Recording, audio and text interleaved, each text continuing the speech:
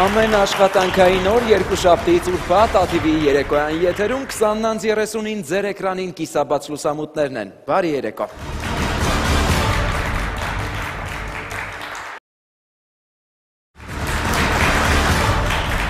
Համբարձում Գրիգորյանը ողնաշարի խնդիր ունենալով համարվում է երրորդ կարգի հաշմանդամ։ Նա ստանում է թոշակ, նպաստ ավելի ճիշտ 24000 դրամով եւ զրկված է վերջին 6 ամիսների ընթացքում թոշակից։ Տեսնենք թե ինչու այսօր կիսաբաց լուսամուտներից ներս։ Նախ եւ առաջ նայենք էկրանին։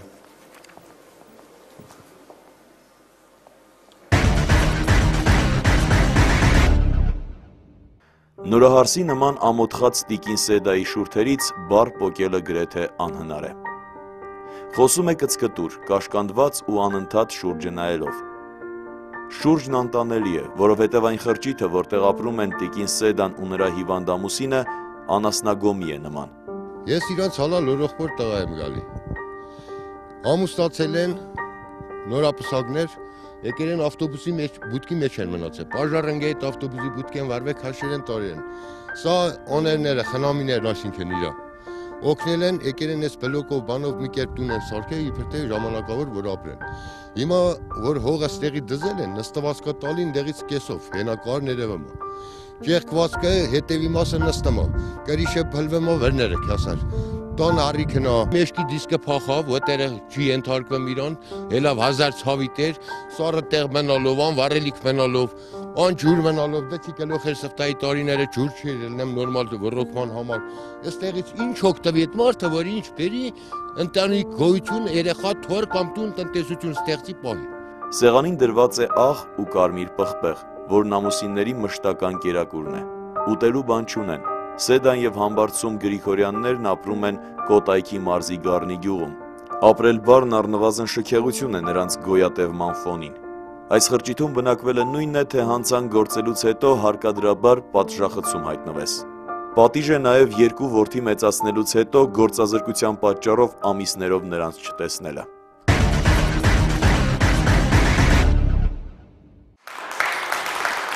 Ինչպես հասկանում եք, Գրիգորյանների համար ապրել բառը նույնիսկ շքեղություն է։ Այս ընտանիքը էլեկտրաէներգիա չի օգտագործում պարտքեր չկուտակելու պատճառով։ Դիմավորենք Համբարձում Գրիգորյանին։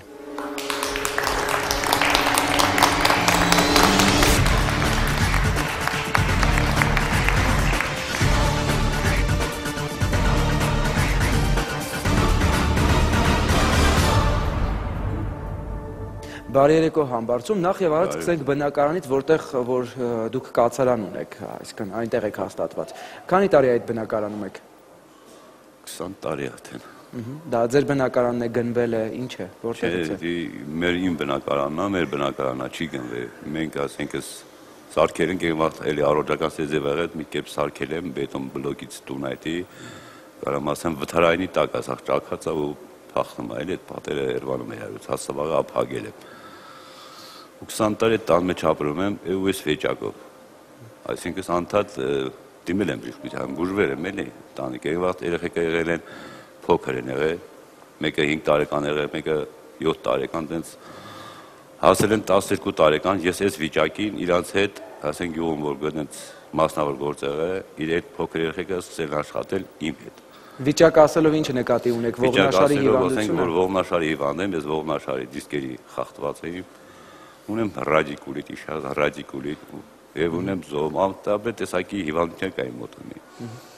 Այդ բուժումից հետո այտենց հետո դարելը մանկողնային եմ եղել։ Մի կարճ ասած այդ տան մեջ այտենց փոքր ապրեցինք ընտանիքով։ Մի երեխեքը մեծացան, գնացի բանակ դարան եկան, եկել են։ Ամուսնացել եմ, մեկին երկու երեխա ունի, որը մեծ հարցս մի հետ սա, եւ փոքրը, ասենք հետո չի նրան Եվ նրանցից ոչ մեկը ձեզ հետ չի ապրում հիմա։ Չէ, երեխեքը ինձ հետ են ապրում, ասենք այն փոքր հարց ասելով որ իմ մոտը չի, ասենք նրանք կիսարան արել, մի այն չէր վերև, էլի վիճակը։ Ու սոցիալական վիճակն է, չէ՞, ստիպել, որքանով գիտեմ, ձեր մարզից տեղափոխվել մեկ այլ մարզ։ Հա, այսինքն իմ սոցիալական հերթից, որ ասենք արդեն վիճակը ծանրաբերվեց, ես ապրում եմ այդ թոշակով ու այդ նպաստով ապրում, որից 6 ամիս նպաստս դադարեցավ, իսկ նպաստը շարունակ տալիս էին 24000 Նրանից հետո երեխեքը որ սին եղվել, ասենք դե դենձի բուժում է պետք է դերը հյա փոքր երեխա կա հացա պետք ջուրա պետք դրանցը մի 15-20 օրով երեխեքը գնացին դեպի դուրս, ասենք աշխատելու։ Նետև մտածեցինք, որ դե աշխատելու դիմաց մեծ պատկերացինք, որ երեխան չի ազգամ գա։ Ծածխերը են չէր էլի, ասենք գնալ գալու, որ պետք է Երևան ասենք էր հասնենք Յառնի։ Ոչ մի գովը չէր կարում դրանով ապրել, ասեց ձեր չտվեց ինձ, ասի տղա ջան, դες չի լինի։ Մի 15 օրը ոչի 15-20 դուք երեխեքի պահեի թոր բան չպատահի, ես ոչինչ։ Որ ասենք, մի ասենք խոսք ասում հաց դուր, եթե չկա, ես որ դուս տամ, ես հասկանում եմ չկա չեմ ուզում, բայց նա փոքր է, չի հասկանում։ Այդ պայմաններից ելնելով երեխեք ասին պապա, ասես չի լինի։ Գնացին աշխատել մի ոչինչ, ասենք գումարը այն չէր, որ ասենք առնում են իրանք, մի նոր երեխեք վերադարձած եկածից մոտ, հմի։ Ասենք գյուղում կա, ասենք Ինչ էին աշխատում։ Սովորական գործ, ասենք գործեր են անում, են աղբ թափելու մեքենաների վրա հետ, ասենք աղբին ամ թափում բերում, այդ գործներ Եվ որքան էին ստանում։ Եվ նրանք ընթանում են միջինը, իրանք 20-ից 30000 Ոյլ ավել չէ։ Ես դրա համար ես ասի, եթե մնակը դու վաստակ, ոսկի 20000 դու որտաս վարս 10000 ամ, դու 10000 մար թե պետք է տղա ջան, թողարի տուն։ Հիմա երեխեք եկել են ինձ մոտ, իրոքից մոտ են երեխեքը եւ ինձանից չեն կարանակ բաժային, որտեվ չի նմտեն։ Որնաշարի խնդիրների վերաբերյալ ձեր ամենակոնկրետ բողոքն է այս երեկոյի ընթացքում, որ ձեզ զրկել են թոշակից, այն էլ 6 ամիս է արդեն։ Ինչ հիմնավորումով է զրկումը եղել եւ ինչ են ասել։ դե որ ասենք գալիս է տարին թվում, բայց նոր հազարստան ստուգումը հետազոտման, որ ասենք ես իրենց էպիկերից տանեմ տան նորից կոմիսայի բժշկին։ Ես գնացի հետազոտման, բժշկտվյալ բժշկին տեղի։ Ասենք հետազոտես, ինձ ես չգիտեմ, եթե ինքն ճիշտ է գրեթե թե սխալ գրեց թե ինչ որ բան, տարա դիմեցի բան կոմիսայի բժշկին, մեր էտի բիզա, ասեց հոկ սեպտեմբերի 9-ին տվել եմ։ Ասեց գնա հոկտեմբերին կգաս։ Հոկտեմբերի 9-ին գնացի, ասեց գնա նոյեմբերին կգաս։ Ասի նոյեմբերին կգամ։ Նոյեմբերին է գնացի, ասեց նայեց կարտած ու ասեց ամբարսում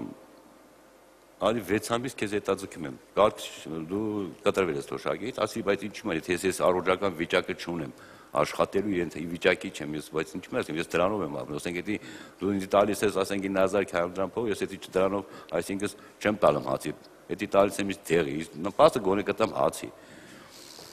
ասեց ամ ես ես որ եկա նորից գնացի եկա վատացա դες անգողնային մնացի երեխեքը ցան ներվան գնա դեր մեր բին ասենք բուժի սրիսկին հանի ողտի նորից դիմեցի նորից կամիսայի բժշկին դիմեցի կամիսայի բժիշկն ասեց ամբարձում ես քեզ ոչ թե մերժում եմ այ մի 6 ամսից հետո կգաս կասկածնես Ինչու։ Ես յան ասում եմ ինչու ասում եմ ասում եմ ինչու բայց եթե ասում եմ Ստեղ որովհետև այս կոեպիկրիզի մեջ է գրած չէ որ քո ողնաշարի որ մասնավորակի հետի մի դիմիտոքով բուժող բժշկին ասում պետք է գրել շարունակելի ինքը գրել է որ բարելաված ասում նշանակում է դու 100% անոց առողջ մարդ ես ասում դրա համար քեզի չի ասում Բայց քեզի գրել շարունակելի ու տվյալ բանի էպիկրիզի մեջ է գրված որ դու բժշկի սկողության տակ պետք է մնաս Մի ասի ես չգիտեմ էդի բժշկուջան, ասենք parza կարող է ես մի քիչ, ասենք ոչ թե մի քիչ լրի վարյալ կարամ ասեմ, օրենքից երևի լավ չեմ հասկանում կամ ինչ-որ բան։ Ես չգիտեմ էդի ոնց իշ կնի, ոնց է, ասավ դե դիմի տվյալ քո բուժող բժշկին։ Ես դիմեցի իմ տվյալ բուժող բժշկին նորից, ասի ես դե վեզև աղե։ Ես պայմանեն ասեց արի նորից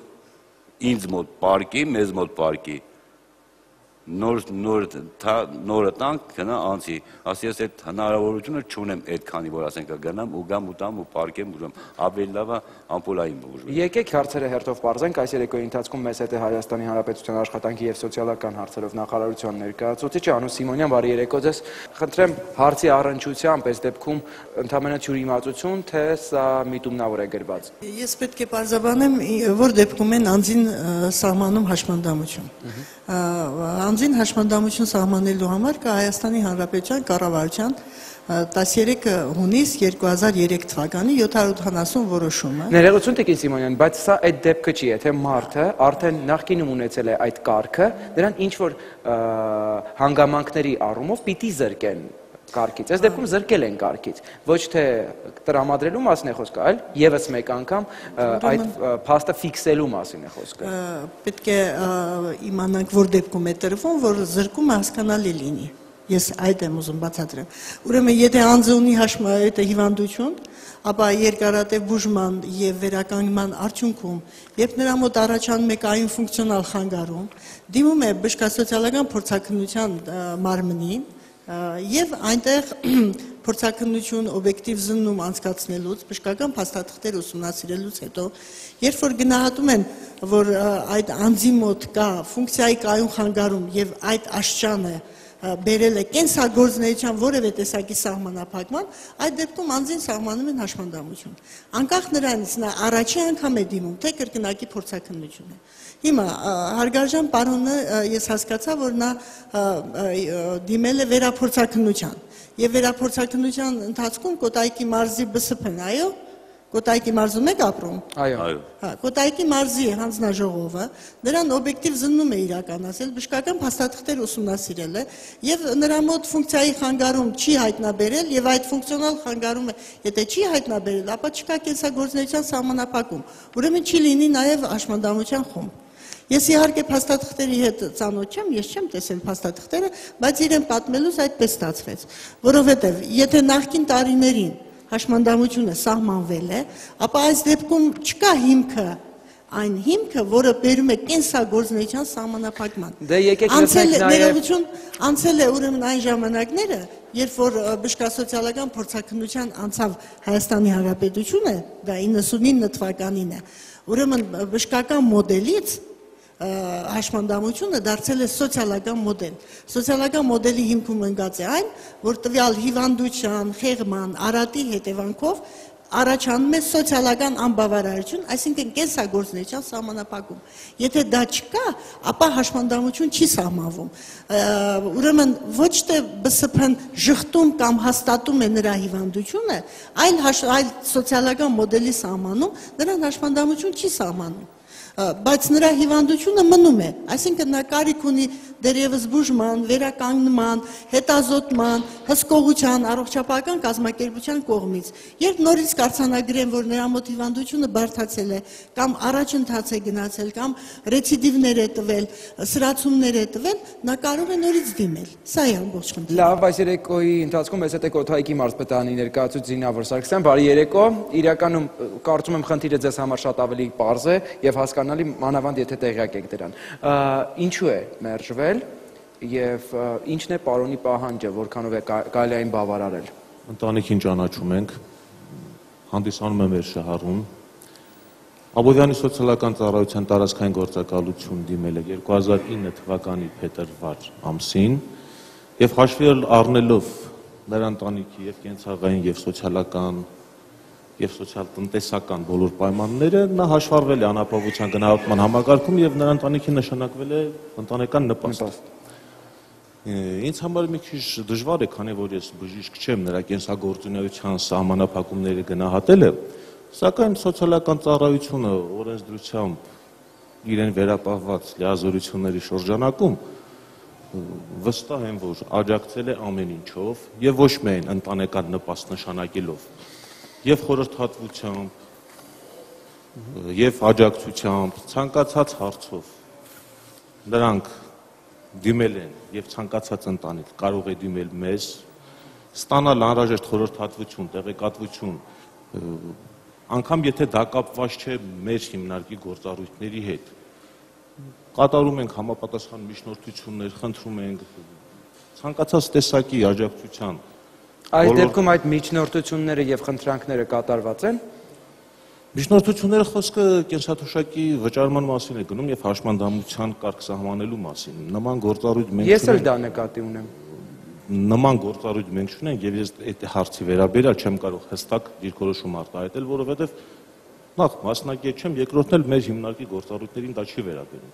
Իսկ մնացած մասով, քանի որ ընտանիքը հայտնվել է կյանքի դժվարին իրավիճակում,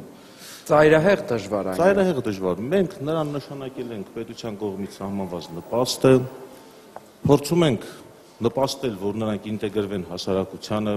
որոշակի առումով բարելավի նրանց կենսամակարդակը։ Ընտանիքում տեղյակ ենք բոլոր բարդություններին,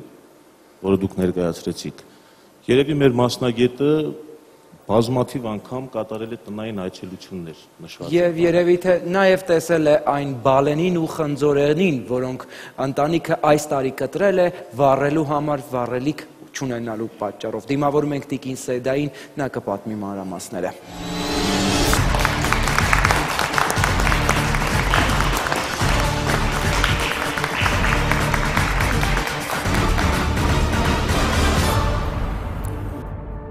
Բարի երեկո Տիկին Սեդա, շնորհակալություն հրավերն ընդունելու համար։ Բալենին ու Խնձորենին ես որպես օրինակ բերեցի, որ այս տարի վառելիք չունենալու պատճառով դուք կտրելու վա- վառել եք։ Ահա։ Հա, Լույս չեք օգտագործում չէ, էլեկտրաէներգիա։ դե որ չեք կարող ուծեք, ասեք, այդքան հոսանք չեք կարող վառեք։ Հա, դա ասեք, ցախ եք բերեմ։ Կտրտմեք, յոլայեք այդում այդ այլ։ Ես գիտեմ, որ որոշակի մինիմում եք ինքներդ սահմանել ձեզ համար, հոսանքի գումարի համար, դա որքանն է։ Քանի հազար դրամ եք կարող 2000 2000 դրամից 2000, 2005 դրամ ցավել չեք կարող։ Վառեք, ասեք դե աղշատանք չկա, աղշատանքի վերունքումս 20 օր երեխեքը գնացին գործի, այն էլ հարմար չի պիտի հետ դառնական, այսինքն սեկել են էլի։ Մոտներս են։ Դե հələ տեսնեք էլի։ Ինչպես հասակ է սորի։ Չկալություն աղշատանքը այսօրն է հասցնում։ Իսկ ժամանակին ինչ եք աշխատել։ Դե ժամանակին ասեք ը, աղշատանքը ամուսնիս աղշատել, մենք չեք աղշատել։ Ասեք դե բերեք յո ապրել եք։ Հետո որ հիվանդացավ, էլ չկարծավ աղշատել, երեխեքը փոքր էին։ Հա։ Հիմա ասեք ինքն էլ անկողնային որ պարկածա, ես եմ ամեն ինչը ասեք բերեմ որ գործ չկա էլ, այսինքն սիա թոշակովի կապրում, թոշակը հիմա կտրել են փարոսով, դե փարոսով էլ ինչքան պետք է 9 ընտանի շունչեք, չեք կարա էլ այդքան յոլա այդակ։ Ձեզ այս րոպեին օգնության կանչեմ ձեր հարսին, ով եկել է այստեղ երեխաների հետ։ Պարոն Համբարձումի տղաներն ամաչեցին ուղակի այստեղ ներկա լինել եւ իրենց սոցիալական ծայրահեղ վատ վիճակից խոսել, այդ ամենը եկել է նրանց փոխարեն անելու հարսներից մեկը դիմավորում ենք Սոնային։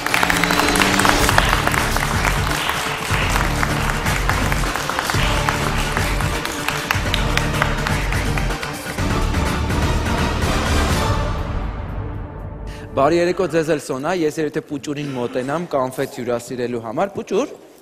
կակա ուտես։ Դուք երբ սկսեք, հա, պատմել են վիճակի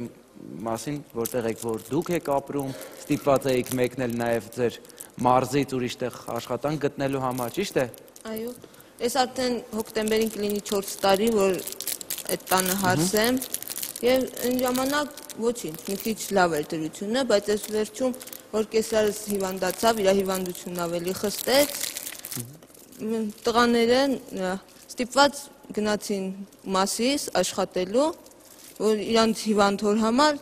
դեղորայքի փոխավ հայթայթեն։ Եվ դե ոնց կլինի տղաներին մենակ թողենք բնականաբար մենք կանանք իրանց հետ գնացինք նրանց թողնելով տանը Աղբի մեքենաների այո վրայինը։ աղբի մեքենաների վրա էին աշխատում այս 15-20 օր արդեն որ գնացել են բայց հիմա ոնց կլինի հիվանդ կիսուր կեսարանի թողենք տանը գնանք Հիմա նորից պետքա հետ վերադառնանք, բայց գիտեմ, որ աշխատանք չլինելու պատճառով հետ վերադառնան, ինչպես ենք նորից այդտեղ բնակվելու։ Իսկ ամբողջ ընտանիքի հոգսը այդ 10000 դրամով կարելի է լուծել։ Այսինքն էլի- ամբողջ խնդիրը այդ 10000 դրամն է, որը ստանում է որպես թոշակ համբարձումը ձեր սկեսրայրը։ Դե մենան թոշակը չէ նպաստն էլ, որ տալիս են ոչինչ, էլի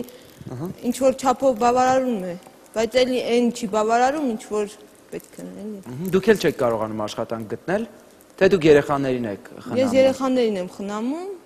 ամուսինս աշխատում է։ Ահա, հիմա չի աշխատում։ Հիմա չի աշխատում։ Ահա, աշխատանք չկա Գառնիում։ Դե Գառնիում որ աշխատանք լինել են ինչ էին գնում մասիս։ Փորձել են գտնել Փորձել են գտնել։ Հիմնականում այդ հացի փռերն է, բայց հացի փռերում էլ արդեն այնքան է ժողովուրդը, որ էլ աշխատող չեն։ բոլորը հաց են թխում։ Այո։ Տիկին Սեդա, դուք երևի նաև պատմեք ընտանիքի մասին, ինչպես են ամենատարական կենցաղային հարցերը լուծվում։ Շատ դժվարությամբ ապրում եք երկուսեյականոց փոքր տնակ շենքի մեջ, տան մեջ էլի։ Հա, ինը շունչ եք, չեք կարող ապրեք, տունը արդեն ճակատվել, ասեք հնարավոր չէ, էլի ասեք երեխեքին թողեք այդ կամ դուրս մի միանգամից մեկ է տեսալ փլավ նստված կա տալիս հողը Հա։ Շատ դժվարության եք ապրում, այսպես ասած, ուղղակի խնդրում եմ հանրապետության, որ ասեք մի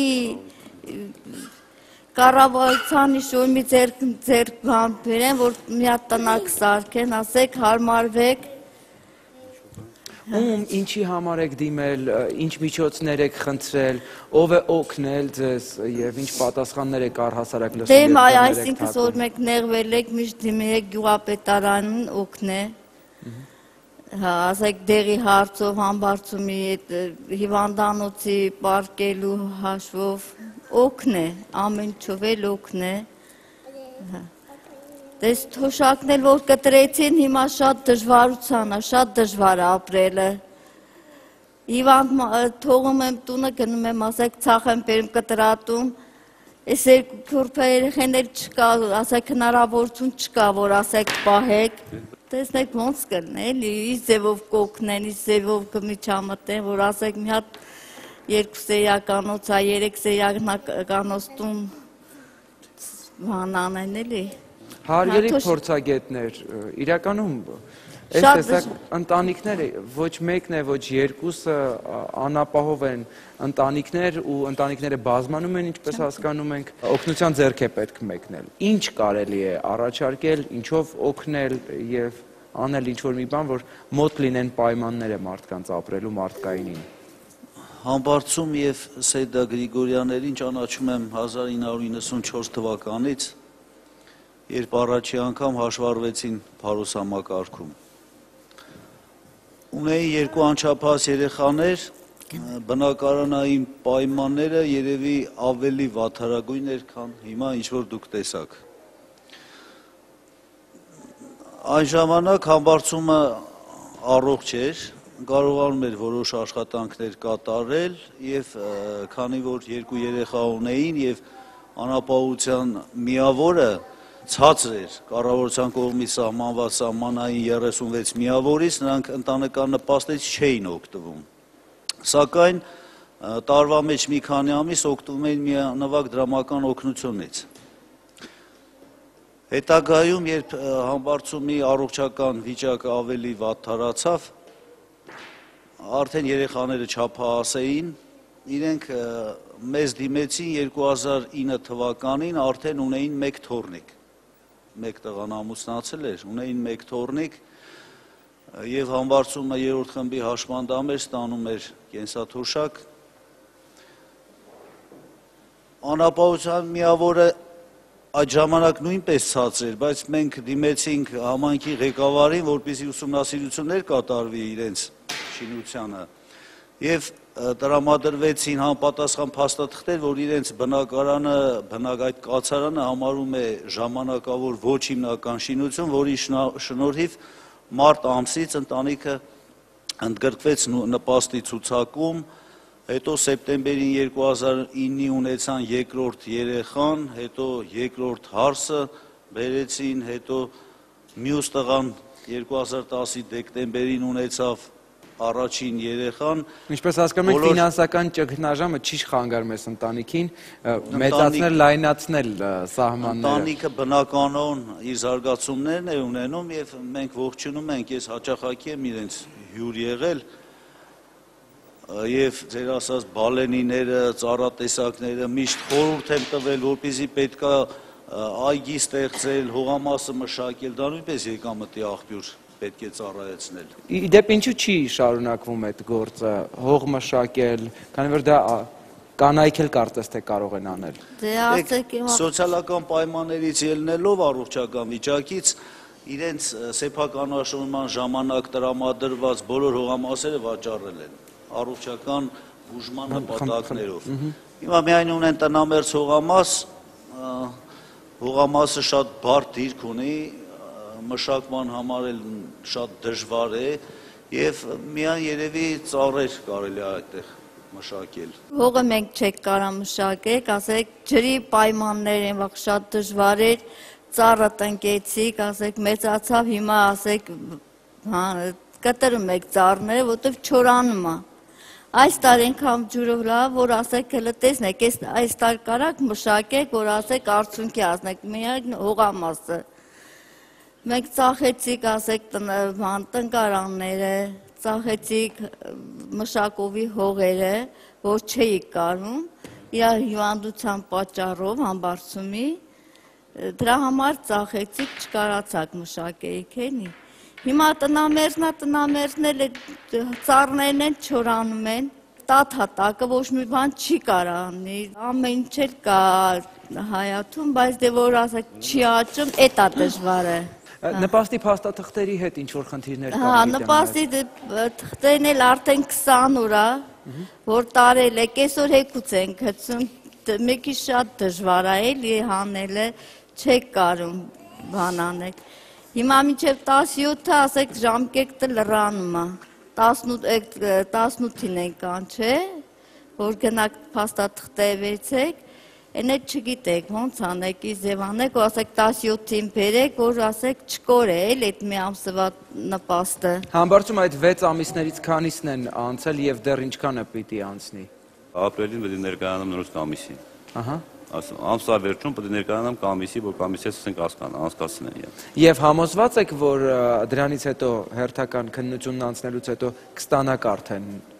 Հազարդի ասենք որքանով ճիշտ ասած ես չգիտեմ հաստա 100%։ Ես չեմ համոզված չեմ, որտեղ ինքը ասեց 6 ամիսից կդրանա կգաս կասկածի։ ինքը ով է։ մեր կամիսայի բժշկուին էլի։ Ահա։ Կգաս այս 6 ամիսը թողտամի, կգաս նոր նոր բանը դոկումենտով, փաստաթղթերով։ Ոչ ասավ Իվանանոցում, ոչ մի տեղ ամպուլային պայմաններում կբուժվես համբարձում դրան ասել։ Ես քու կայնելուց, քու նստելուց ես դզգնեմ, որ դու առողջական չունես, վիճակ չկա քու։ ամպուլային պայմաններում կբուժվես, բսս բժշկից կողմից, տակ ուղակի մի հատ էպիկերից նորից կբերես ձեր մոտից, ուղակի գարնի Իվանանոցից նորից կբերես, ասա, ոչ մի Երևանից չլինի։ Ու ես քեզի կասկածեմ ասեց ամբարձում։ Ես տեսնում եմ, որ քու վիճակը ինչ առողջական։ Ես տեսնում եմ, որ ամեն ինչից նեղում ես, ասա եղա բժշկուի ջան։ Ու ես իրան ասեցի, որ ոչ մի տեղ ասենք ես մի մոմենտ ուզում էի գնայի բողոք քարկի գելուց, ասի չեմ գնա, պետք չի։ Չեմ էլ ուզում ասի։ Իրան դիմել եմ ասել եմ, թե հնարավոր է ինձ սարքեք, բուժեք, ասեք, անեք 70%-անոց մարդ, որ այդ առողջանոց վիճակը սների։ Ես մեծ սիրով հրաժարվեմ լրիվ այդ կամիսայից։ Ես չեմ էլ ուզում սկի կամիսան գնամ կամ թոշակ ստանամ։ Երեք տարիքս ինչա որ թոշակ էլ ստանամ որ տարիքս համապատասխանում է 60-70 տարեկանի կասի հա, բայց երեքա երեխեն եմ ինչ եղել։ Ասես չեմ կարա։ 100% գարանտիա չեմ կարա տալ մեկ էս ամբարսում։ Պետք է գնաս ապերացիա լինելու, ասի ես ապերացիա չունեմ այդ հնարավորությունը բժշկուի ջան։ Հետո ես ապերացիա հնարավորություն ասելով ինչ ինչ ֆինանսական։ Ինչ ինչքան է պետք Դե դե ասենք ես չգիտեմ որքան ասել են որ 2000 միջև 2000 դոլար կընկնես էլի ինչ որ ողնաշարի ապերացիա անելու ման ես էլ դիմեցի ասի չէ բժշկու ջան ես ապերացիա չեմ մնում ու դիմել եմ մի հատ ուրիշ պրոֆեսոր բժշկի մասնագետ բժշկ ստուգես նայեց ու ես իրան ասեցի բժշկյանը մի ոնց է ասեց ողնաշարի ողերը որ փախել է գրիժա է տակը ողնաշարը մաշած արդեն դարելա խրոմիկական բուժում չունի սրա ես սրա բուժումը ասեմ ասա քեզի տվեց իս դեղ ռեցեպտներ գրեց դեղերը նշանակեց ու ասեց այս մի դեղը թանկանոց ասի ոչինչ ասած այս դեղով կօգտագործես դու տարաջան ասեց օպերացիա չլնես օպերացիա այն դեպքում կլինես երբ որ քեզի ասենք արդեն կրկես սարքելա կուտ էլ հնարավորություն չունես փրկում չկա այդ ժամանակ կգնաս օպերացիա կրնես ասի եղա բժշկ ջան բժիշկ ջան մի դեղերը տվել ասենք այդ դեղերի ալբանով սրսկվում եմ իր ասած դեղերը օգտագործում եմ ճիշտ է քայլում եմ ասենք բայց ինչ որ կաղապատայի պայտակ նանի նստած եմ մի գլտես նես մոմենտա պրստուպտայել որ ներում բեկում չլիս դա այսինքն այդ դեղերը օգտագործում եմ այդպես անում եմ ոնց ասած այդ ձևով ապրում եմ էլի Ես հուսով եմ, որ այս երեկո հերոստադիտողները տեսնելով ձեզ օգնության ձեռք կմեկնեն եւ իհարկե կզանգահարեն խմբագրություն 493317 հիշեցնեմ մեր հեռախոսահամարն է եւ կառաջարկեն ձեզ օգնության ամենատարբեր տարբերակները, իսկ փորձագետների անկախ փորձագետների հետ մենք այսօր փորձենք վերլուծել ու քննարկել այդ հարցը։ Կին Սիմոնյան խնդրեմ։ Եթե հանձնաժողովի նախագահան ձեզ խորհուրդ է տվել, ա, որ վիճակի վատթարացման դեպքում անհրաժեշտ բուժում եւ ախտորոշում ստանալուց հետո կարող եք նորից դիմել, այո, դուք կարող եք բժշկական փաստաթղթերը նոր բժշկական փաստաթղթերը բուժում ավարտելուց հետո վերցնեք եւ նորից դիմեք Կոտայքի մարզի հանձնաժողով, դիմում կգրեք, ձեզ կվերափորձակնեն եւ վերափորձակնության արդյունքում, եթե հաշմանդամություն սահմանվի, կսահմանվեն։ Ես կարող եմ ձեզ նաեւ խորհուրդ տալ, որ կարող եք անմիջապես դիմել նաեւ գործակալություն գործակալությունը ունի փորձաքննական բաժին, որը բողոքարկման դեպքում որպես վերահսկող բաժնի դեր է կատարում եւ եթե ձեր նկատմամբ ճիշտ որոշում չի կայացվել, ապա այնտեղ անպայման կվերանայվի դա։ Դրա համար երբ ձեզ հravirել են կամ դուք երբ ցանկություն ունեք գնալու, կգնաք կփորձակնեք եւ փորձակնության արդյունքից հետո որոշումը ստանալուց հետո 6 ամսվա ընթացքում կարող եք բողոքարկման դիմում ներկայացնել։ Ես ճիշտ ասած չհասկացա ձեր պատմությունից, թե ինչու է ասել 6 ամսից հետո կդիմեք։ Ես էլ անկեղծ։ Հավանական է ձեզ ասել է անհրաժեշտ ախտորոշում, բուժում, վերականգնում իրականացնելուց հետո, եթե ձեր վիճակի վատթարացում կլինի որտեվ չի կարող պատահի փորձակնության ժամանակ ձեր վիճակը վատթար լիներ եւ հանձնաժողովը ձեր նկատմամբ դրական որոշում չկայացներ հավանական այն ժամանակ վերականգնում է օգնել է, իսկ եթե հիվանդությունը սրանում է, բարթանում է, խորանում է, դուք կարող եք նորից դիմել, սահմանափակում չկա։ Ես սա եի ուզում ասել։ Շնորհակալություն, խնդրեմ եմ։ Տարածքային առումով այնքան հեռու է Աբովյանից Գառնի, որ ամեն մի տեղեկանքի, ամեն մի փաստաթղթի համար նաև իրանք են երևի ժամանակի առումով այդ գծե թղթերը եւ դրա պատճառով ուշացրել են այս ընտանիքը համայնքի կողմից ուշադրության կենտրոնում է։ Համայնքի ղեկավարը հաճախակի օգնության ձեռք է մեկնում ընտանիքին, բայց նման ընտանիքներ այնքան շատ կան համայնքում, որ եւ այդ պայմաններից ելնելով համայնքի բյուջեից ելնելով հնարավորություններ չունի, որ կարողանա ավելի շատ ավելի հաճախակի օգնի նման ընտանիքներին։ Բայց համբարձում են սպարագայում համայնքի ղեկավարի կողմից ժամանակ առ ժամանակ թե դրամական թե նյութական օգնություն է տրվում տրվել իսկ եթե ցանկություն լինի այս ընտանիքի անդամներից որևիցե մեկ աղշատի ես կխնդրեմ նախքին այդ հացիպրի տնորենին որտեղ որ իրանք աղշատել են նախքին բառը մի քիչ ճիշտ չնչեց եւ իրանք որևիցե մեկին կվերականգնեն աղշատանքին եթե ցանկություն ցանկություն լինի ես եղել եմ համբարձումենց ընտանիքում իրանց ընտանիքը իսկապես շատ ծայրահեղ աստիճանում աստիճանում է գտնվում։ Բացի որ շատ վատ աշխարհական դիրքով իրենց տունը շատ վատ տեղ է կառուցված ժարերի վրա է։ Այնտեղ հնարավոր չէ ոչինչ աճեցնել։ Եվ այդ աճացնել այնքան կարճ կտևի այդ ծառերը կյանքը, որ կարող է շատ մի 3-4 տարում արդեն չորանա ծառերը։ Այսինքն այնքան կարե որ քարից հաց այդ նույն ժողովուրդն էլ քարի մասն է խոսքը, որտեվ այդ իրանց այդ հողամասը գտնում է ժարի վրա, թեքարտության վրա, եւ այնտեղ հնարավոր էլ չի որ ծառեր աճի։ Իսկ իրանց հողակտորներ արդեն հենց իրանք ասեցին, որ ժամանակի ընթացքում, երբ որ համբարձումը հիվանդացել է, այդ հողակտորները կամաց կամաց վաճառել են եւ մնացել են այդ փլաստ աշտակի առաջ։ Շնորհակալություն։ Դե մեր եթերը մոտենում է իր ավարտին, ձեզանից յուրաքանչյուրը իր վերջին խոսքը պիտի ասի։ Խնդրեմ, ասեք այն, ինչ ձեր սրտում է եւ ինչ եք այսօր ցանկանում։ Կդիմեմ կառավարությանը խնդրուակի, եթե ինչքան հնարավոր է կառավարությունը ինչ-որ մի բանով ձեռ մեկնի, ասենք այս ճկնակպախ ժամից դուրս անել ես ընտանիքին, որտեղ ելնեմ երկու հարց հնարավոր չէ մի հարց երկու հարցը մի տամի չափ, մի սենյակում ապրեն Ուղղակի խնդրում եմ կառավարությունից, եթե հնարավոր է, ասենք մի ձևով, մի բանով, ասենք հնարավորություն տա օգնելու, ուրիշ ոչինչ չունեմ պահանջելու։ Տեկին Սեդա։ Դե նույնն էլ ես կասեմ, որ ասեք երկու հարց չեն կարող մի տան մեջ մնան։ Հա, խնդրում եմ, որ մի հատ ձեր մեկնեն, օգնեն, էլ օգնության կարիքով բան անեն այսօրվա մեր գլխավոր նպատակը ինչ որ բանով կարողանայինք ձեզ օգնել։ Հուսով եմ մարդիկ, ովքեր ցավին վերաբերում են որպես ցավ այս երեկոյի ընթացքում կհասկանան ձեր ցավը եւ իհարկե կփորձեն օգնական լինել ձեզ նաեւ առողջություն ու երջանկություն շնորհակալություն բոլորին դուք դիտում եք ATV-ի եթերում կիսաբաց լուսամուտները եթե դուք էլ ունեք խնդիր ու խնդրեմ ապա զանգահարեք մեզ 49 33 17 կամ էլ ուղարկեք էլեկտրոնային նամակ kl.atv.am սա մեր էլեկտրոնային փոստի հասցեն է ապրենք առողջ ու երջանիկ ու կարեկցանք միմյանց այսքան այսօր ցտեսություն